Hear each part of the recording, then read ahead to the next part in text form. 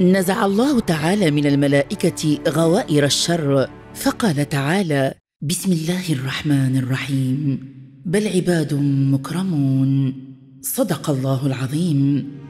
السماء هي موطنهم. يقول النبي عليه الصلاة والسلام أطت السماء وحق لها أن تأط. ما من موضع أربعة أصابع إلا وملك واضع جبهته ساجدا لله تعالى. سفره كرام بررا. ملك مقرب إلى الله عز وجل ذو مقام رفيع. الملك الكريم ميكائيل أو ميكائيل أو ميكال. وهو الملك الثاني الذي جاء القرآن صريحا باسمه بعد جبريل عليه السلام. قال تعالى بسم الله الرحمن الرحيم.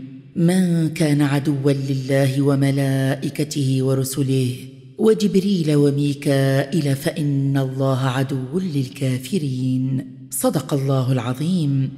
ورد أن النبي عليه الصلاة والسلام رأى في منامه الملك ميكائيل وذلك لحديث سمره بن جندب أن النبي عليه الصلاة والسلام قال رأيت الليلة رجلين اتياني قال الذي يوقد النار مالك خازن النار وأنا جبريل وهذا ميكائيل. رواه البخاري.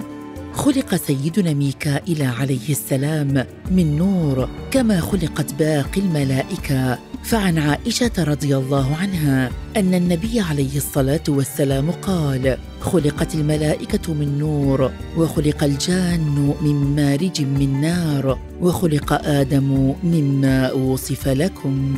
أوكل الله عز وجل إلى الملك المكرم ميكائيل وظيفة الغيث أو المطر وهو قطر الماء الذي ينزل من السماء إلى الأرض فيحيا به الناس وتزداد به الأرزاق. وعلينا أن نعلم أن قطر السماء الذي ينزل في كل عام على الأرض كميته واحدة منذ خلق الله عز وجل الأرض.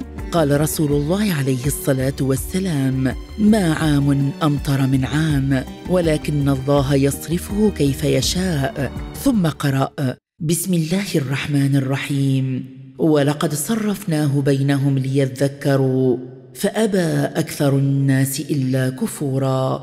صدق الله العظيم.